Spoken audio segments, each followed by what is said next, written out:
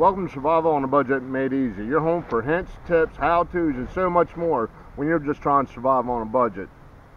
In this video, I'm gonna, it's going to be the intro to turning the Toyota Prius into a camper. Yeah, you heard me right. I'm going to turn the Toyota Prius into a camper.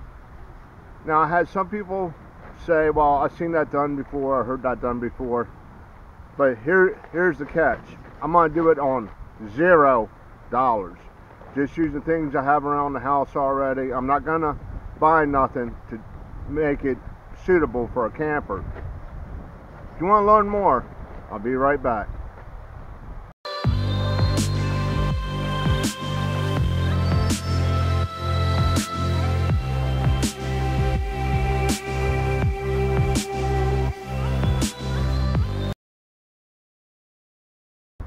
Okay, welcome back to Survival on a Budget Made Easy. Like I said, this is gonna be the introduction to turning the Toyota Prius into a camper on zero dollars. Okay, I'm not gonna buy nothing, just things I already have around the house. There's gonna be different episodes. I'm gonna cover uh, privacy, like how to black out the windows. Um, I'm gonna cover sleeping arrangements for me, Red Dog and Green Dog. I'm gonna cover heating and cooling. Also going to cover a bathroom. You heard me right, a bathroom. Someplace to go to the bathroom and somewhere to wash your hands. like I keep telling you, on zero dollars, the stuff I already ha have around the house, staying around.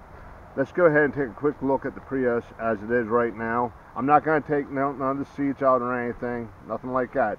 It's just a regular Toyota Prius, okay? I mean, it's just your standard Toyota Prius. Nothing special about it. Okay, four door. I forget what year it is.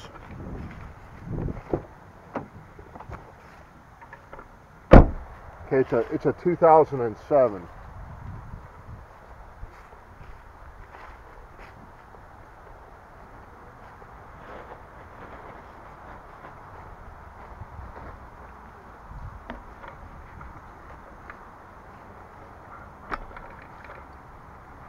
And I forgot to tell you, in addition to having basically a half bath, ain't gonna have running water, but trust me, it's gonna work.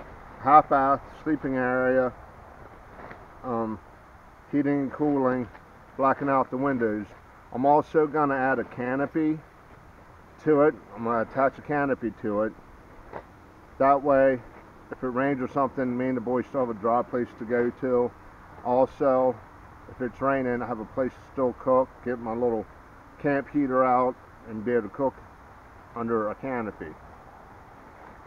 Like I said, this is going to be a zero budget deal. I ain't going to buy nothing for it.